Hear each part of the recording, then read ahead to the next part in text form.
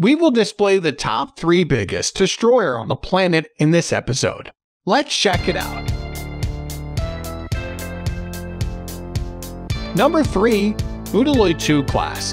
The Udaloy class are a series of anti-submarine guided missile destroyers built for the Soviet Navy, seven of which are currently in service with the Russian Navy. Number 2. Arleigh Burke class. The Arleigh Burke class of guided missile destroyers is a United States Navy class of destroyer built around the Aegis combat system. Number 1. Zumwalt class. The Zumwalt class destroyer is a class of three United States Navy-guided missile destroyers designed as multi-mission stealth ships with a focus on land attack.